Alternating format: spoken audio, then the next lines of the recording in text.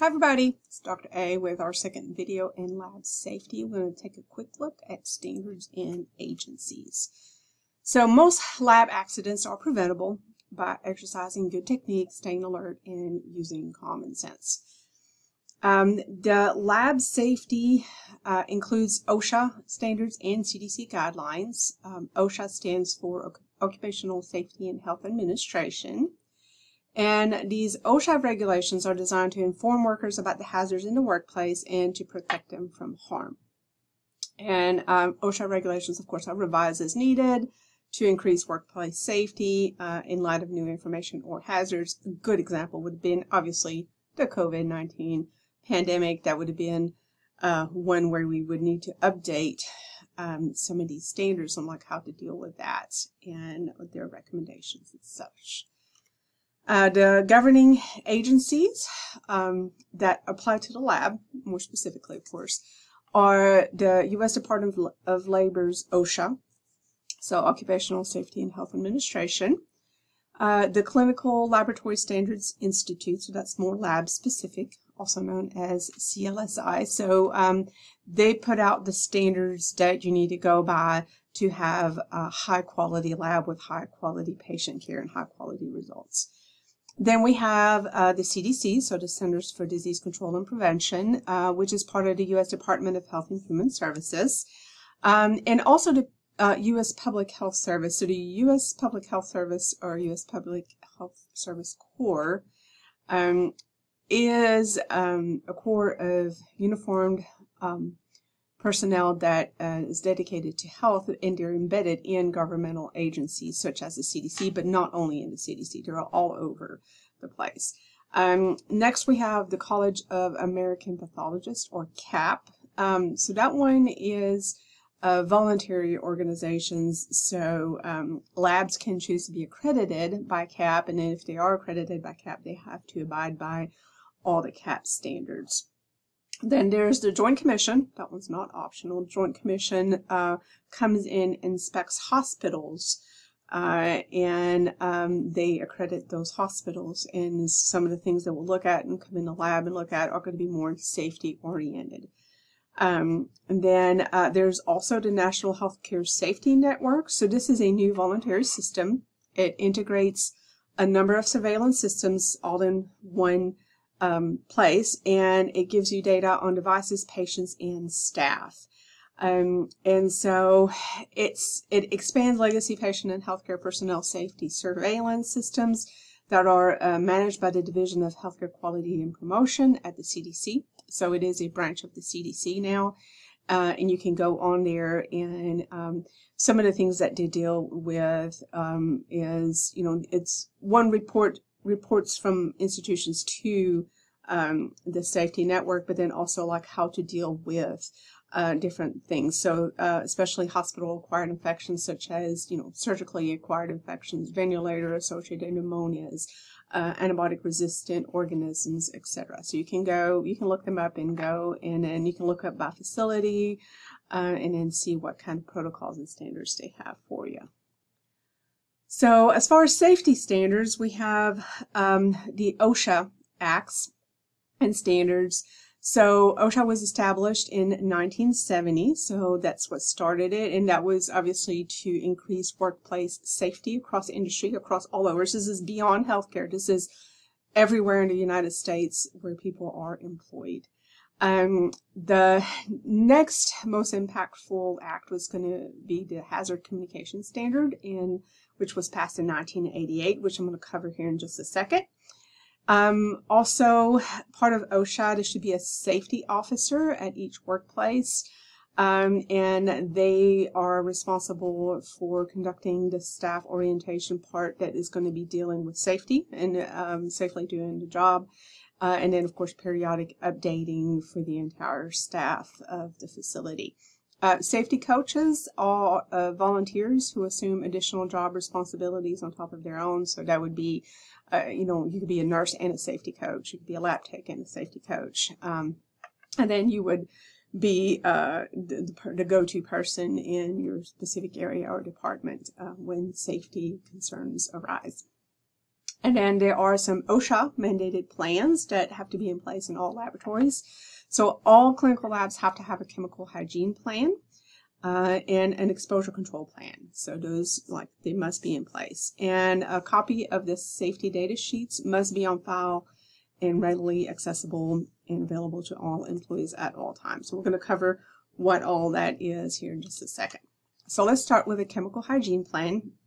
It is the core of the OSHA safety standard. What is it? So it's a written program that is developed and implemented by the employer. And so this would be developed by each individual lab has to do this, okay? And it sets forth procedures, equipment, personal protective equipment, work practices, etc., that are capable of protecting the employees from health hazards that uh, are due to hazardous chemicals uh, in that particular workplace and meets OSHA requirements. And so um, in the lab, there are a lot of reagents, there are a lot of chemicals that we deal with, and so part of the chemical hygiene plan is you know, how do you handle them? These uh, chemicals, do you have to have a fume hood? Do you have to have a mask? Do you have to have gloves? Uh, are, you, are you concerned about it catching fire, about it exploding? Um, are you concerned about breathing in the fumes? Is are you concerned with like um, exposure to the skin? And you know what's the best way to handle it so you don't hurt yourself? And then if you do get exposed, like how do you deal with it? What do you do? And this is for every chemical that is located in that particular lab. So the hazard communication standards, so that was the 1988 update to um, the OSHA Act.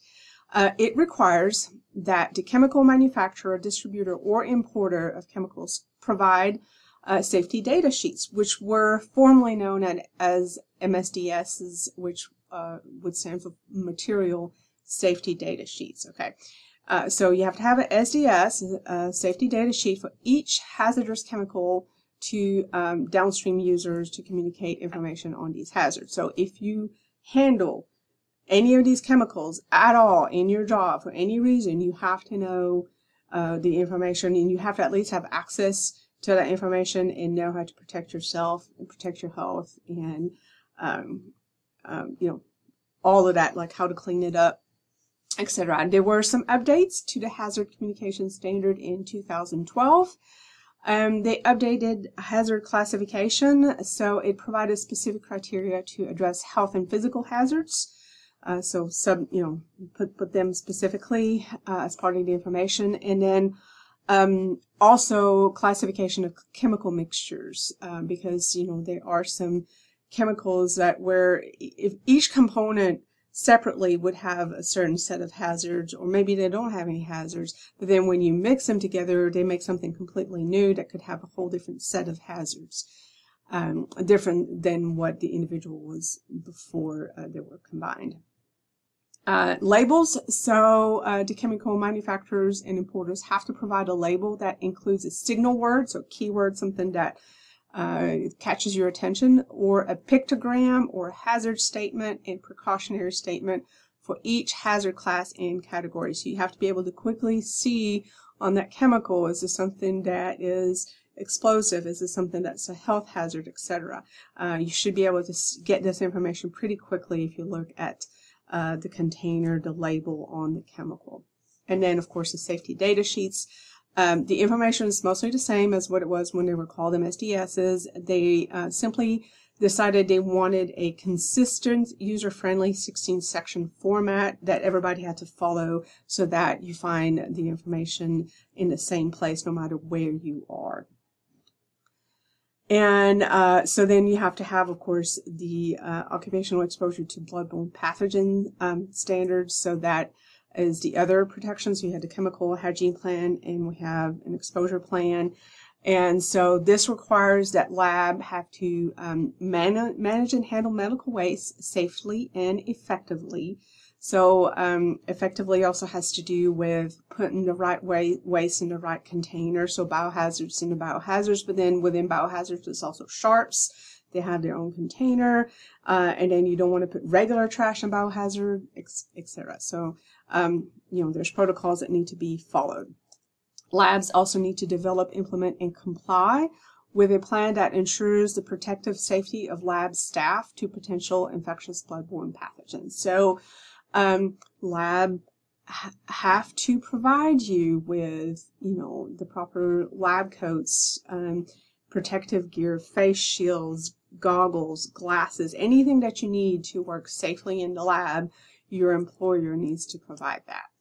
All employees who handle hazardous materials and waste have to be trained to use and handle these materials.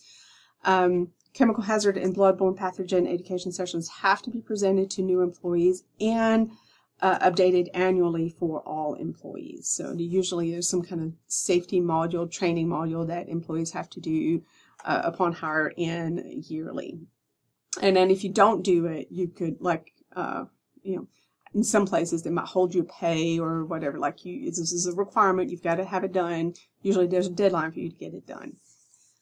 Um, each lab is required to evaluate the effectiveness of its plan at least annually and update it as necessary. Again, as things change, maybe a new test is brought in, maybe new chemicals, new, new something, new reagents, so things have to be updated. Um, and um, then also things, again, such as pandemics and uh, outbreaks and things that sometimes that uh, we didn't previously have, and now all of a sudden we have a whole new set of rules, and that's why you've got to make sure that um, you're always up to date and you are effectively protecting your workers. Um, the CDC also recommends safety precautions that concern the handling of all patient specimens. Those are the standard precautions, and those are going to be covered in a later video and an upcoming video. So, okay, that wraps it up for the standards in the governmental agencies. Thank you.